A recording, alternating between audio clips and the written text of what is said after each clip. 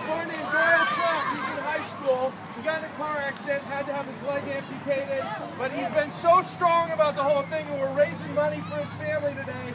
And just seeing these pictures of you kids and that sign coming out for him, and this is this is for him today, is going to mean the world to him. I'm going to see him later today, and I'm going to give him pictures of that sign. And so we're videotaping some of this. How about how about on the count of three we say hi, Doyle?